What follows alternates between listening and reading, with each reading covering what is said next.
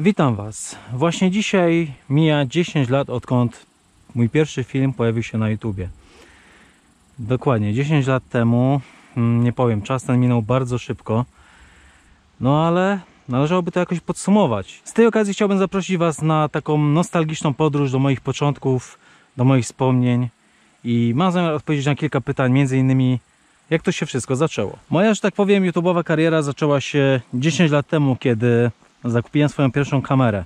Jednak moja przygoda z Urbexem zaczęła się nieco wcześniej niż 10 lat temu, dokładnie 24 lata temu. Ja wiem, że niektórym będzie ciężko to uwierzyć, ale swój pierwszy Urbex zaliczyłem mając 10 lat.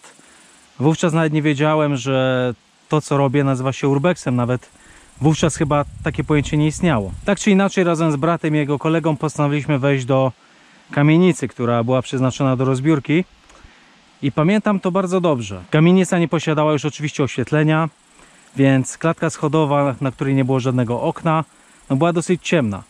Przez około 10 minut zastanawialiśmy się, czy warto tam wchodzić, czy powinniśmy tam wchodzić, no ale w końcu się przełamaliśmy. I właśnie tym oto sposobem weszliśmy do swojej pierwszej miejscówki, do pierwszego obiektu. Pamiętam, że były to mieszkania.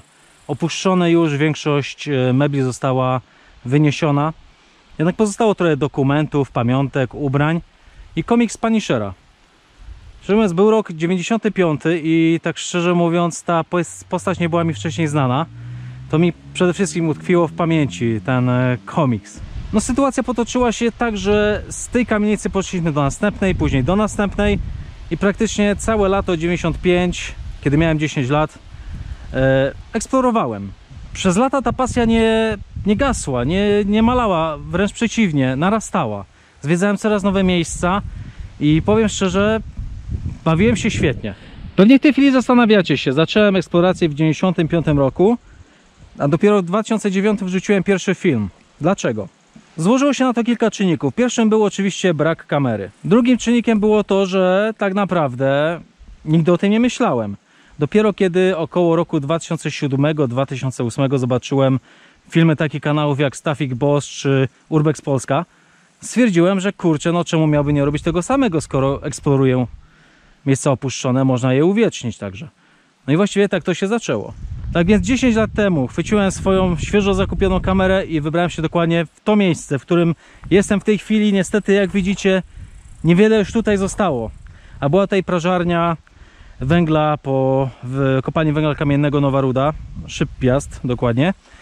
I no cóż, o samym filmie powiem tylko tyle. Niespełna minutowy, bez komentarza, bez muzyki, mocno trzęsący.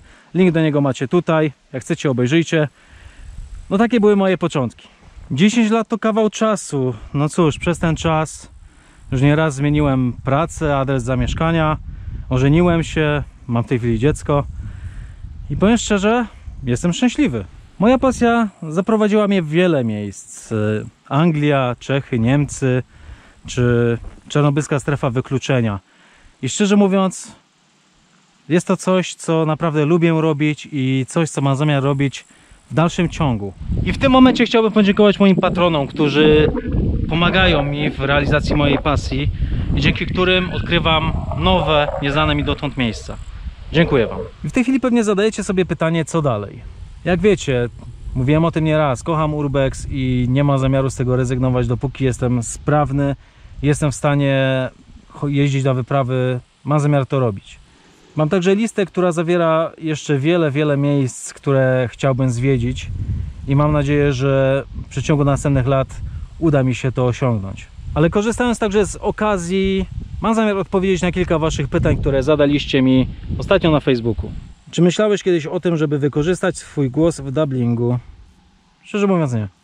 Jakie masz podejście do miejsc rzekomo nawiedzonych?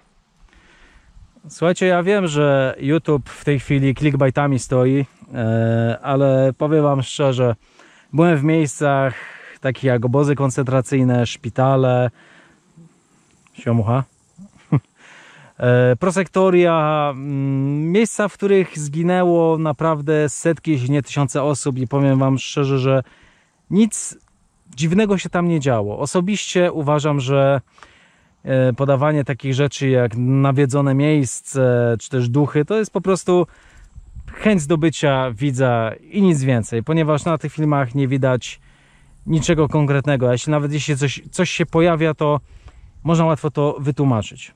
Urbex z rządem przygód Julianem? Znak zapytania. Słuchajcie, wiele razy byłem o to pytany, czy zrobię na, na przykład Urbex z Urbex History, czy też rządem przygód. Słuchajcie, no ja już zrobiłem. Linki do tych filmów macie w opisie tego filmu. Dlaczego akurat taki pseudonim? Szczerze mówiąc, ten pseudonim wymyślił w siódmej klasie szkoły podstawowej mój kolega. Tomasz, pozdrawiam swoją drogą. E, dlaczego on wpadł na taki pomysł? Szczerze mówiąc nie wiem. Nie mam pojęcia, ale spodobało mi się to na tyle, że praktycznie od siódmej klasy podstawówki go używam. Z jakiego powodu ukrywasz swoją tożsamość pod bandamą? Co się stało z twoją twarzą? Czy zbierasz na operację? Pokaż mordę Sietra. Słuchajcie, może nie wiecie, ale 10 lat temu, więcej, kiedy powstawały pierwsze filmy o Urbexie, to nie chodziło o to, żeby się lansować, pokazać e, swoje reakcje.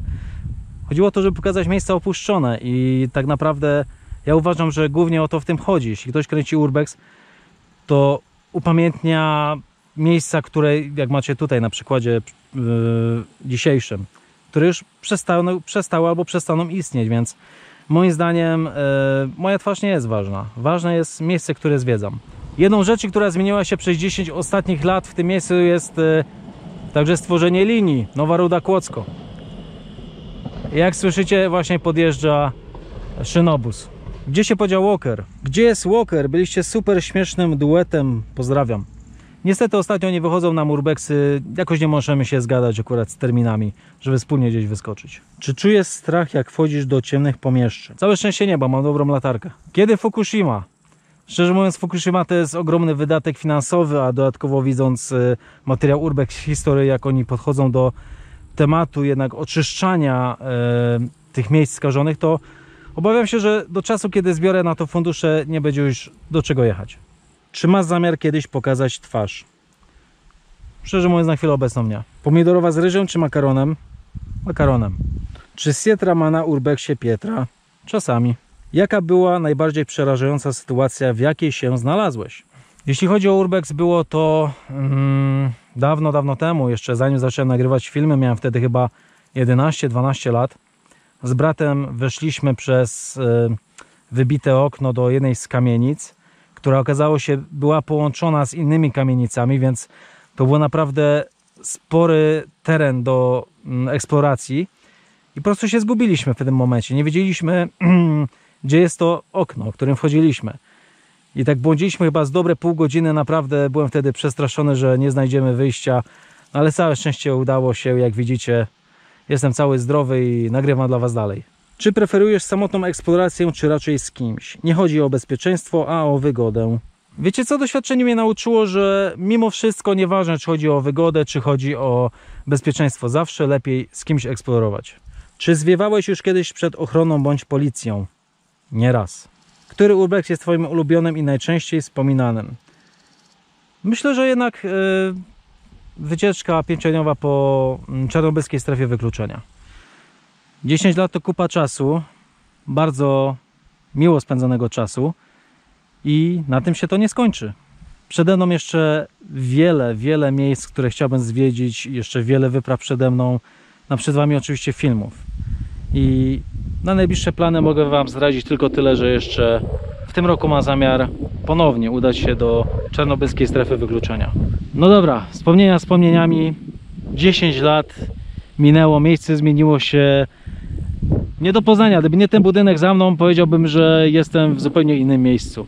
No ale tak to właśnie bywa. Właśnie po to y, dokumentujemy miejsca opuszczone. No nic, ja lecę na kolejną wyprawę, a Wam chciałbym podziękować za to, że jesteście ze mną, że subskrybujecie, za to, że komentujecie, dajecie łapki w górę.